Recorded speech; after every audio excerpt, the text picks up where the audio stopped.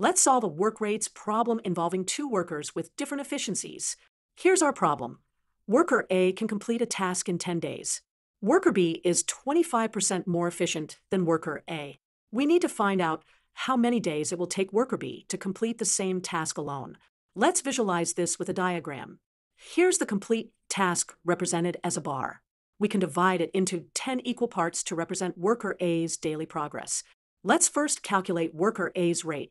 Since A completes the task in 10 days, their rate is one tenth of the task per day.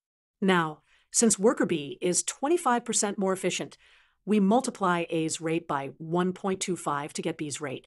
Let's visualize B's faster rate. While A completes one tenth of the task per day, B completes one eighth of the task per day. To find how many days B will take, we know that if B completes one eighth of the task per day, they will complete the entire task in eight days. Therefore, worker B will complete the task